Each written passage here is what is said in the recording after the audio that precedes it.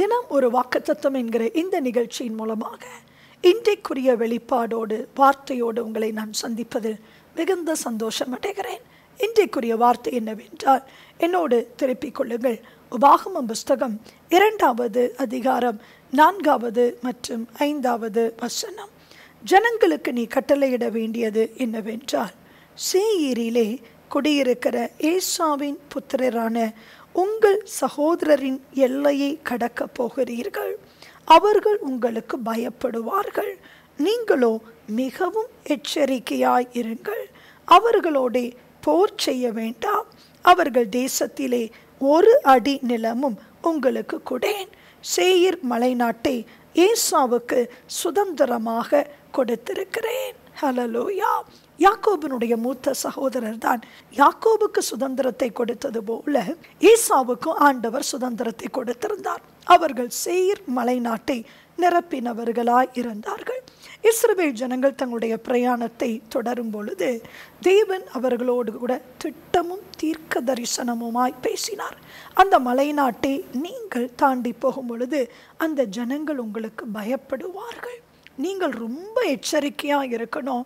அந்த சுதந்திரத்தோடு கூட நீங்கள் போர் செய்து அந்த சுதந்திரத்தை பிடுங்கும்படியாக நீங்கள் எந்த ஒரு முயற்சியும் எடுக்கக்கூடாது என்று சொல்லி தேவன் திட்டமாய் பேசினார். இன்றைக்கு அதே வார்த்தையை உங்களுக்கு கொடுக்கிறாரு. உங்களுக்கு ஒரு சுதந்திரத்தை கத்தர் கொடுத்திருக்கிறார். அந்த சுதந்திரத்தை அனுபவிப்பதற்கோ அந்த சுதந்திரத்தை பெற்றுக்கொள்ளுவதற்கோ அந்த சுதந்திரத்தை தேவன் உங்களுக்கு ஆசிர்வதித்து கொடுப்பாரு. அதிலே மாத்திரம்தான் நீங்கள் கருத்தாக இருக்கணுமே அன்றி உங்களுக்கு அல்லாத பொருட்கள் மீதோ உங்களுக்கு அல்லாத சொத்துக்கள் மீதோ உங்களுக்கு தேவன் வைத்திராத பாகத்தின் மீதோ உங்களுக்கு ஆசையோ இச்சையோ ஒரு நாளும் வரக்கூடாது.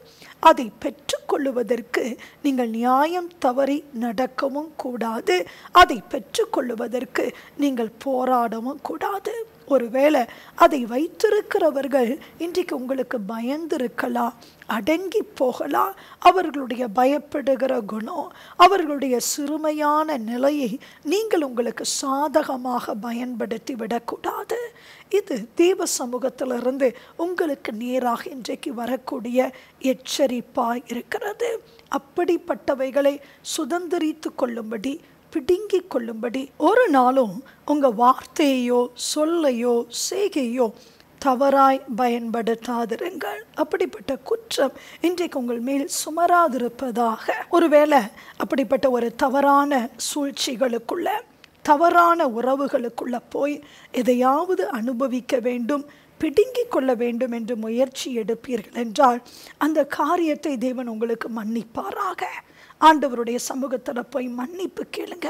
அது ஒரு சின்ன பொருளாக இருந்தாலும் சரி உங்களுக்கு தேவையற்ற ஒரு பொருளாக இருந்தாலும் சரி அது உங்களுக்குரிய பொருளாக இல்லாமல் இருந்தாலும் சரி துவாய் இருந்தாலும் சரி இன்னைக்கு தேவ சமூகத்தில் போய் மன்னிப்பு கேளுங்க. அது ஒரு கம்மலாக இருக்கலாம் அது ஒரு செருப்பாக இருக்கலாம் அது ஒரு உடையாக இருக்கலாம். அது ஒரு விலையேற பெற்ற பொருளாக இருக்கலாம். ஆனால் தேவன் உங்களுக்கென்று வைத்திராத எதையும் நீங்கள் பெற்றுக்கொள்வதற்கு முற்படாதிருங்கள். கர்த்தர் இதை இன்றைக்கு உங்களுக்கு அதை எச்சரிக்கிறார். அப்படிப்பட்ட போர் செய்கிற அனுபவத்தை அப்படிப்பட்ட தேவையற்ற ஃபோன் கான்வர்சேஷனை அப்படி தேவையில்லாதவைகளுக்காக செலவு பண்ணுகிற அந்த செலவுகளை தேவன் ஒருவரே இன்றைக்கு உங்கள் எல்லைகளிலே நிறுத்தி போடுவாராக. அந்த சகாயங்களை கர்த்தர் உங்களுக்கு அனுப்பி உங்கள் ஒவ்வொருவரையும் ஆசிர்வதிப்பாராக. ஜெபிப்போமா? தேவன் எங்களோடு கூட பேசின அந்த நல்ல வார்த்தைக்காக உமக்கு நன்றி. தேவையில்லாமல் உம்முடைய பிள்ளைகளுடைய நேரமோ பணமோ ஆண்டவரே செலவழிக்கப்படாதபடி இயேசு கிறிஸ்துவின் இரத்தத்தினால நினைவுகளையும் உணர்வுகளையும் செய்கைகளையும் கர்த்தர் தாமே பரிசுத்தப்படுத்தும்படி நாங்கள் ஜெபிக்கிறோம் ஆண்டவரே. உம்முடைய கிருப உம்முடைய தயவு இன்றைக்கு உம்முடைய பிள்ளைகளை சூழ்ந்து கொள்வதாக கர்த்தாவே நீர் எழுந்தருளுவீராக. உம்முடைய சத்துருக்கள் சிதறடிக்கப்படுவார்களாக. கிருபை உண்டாவதாக. மீட்பின் வெளிச்சத்தில் கர்த்தர் வைத்து மூடிக்கொள்வீராக. நஸ்ரேனா இயேசு கிறிஸ்துவின் நாமத்தில் வேண்டிக் கொள்கிறோம். எங்கள் நல்ல பிதாவே. ஆமேன். ஆமேன். God bless you.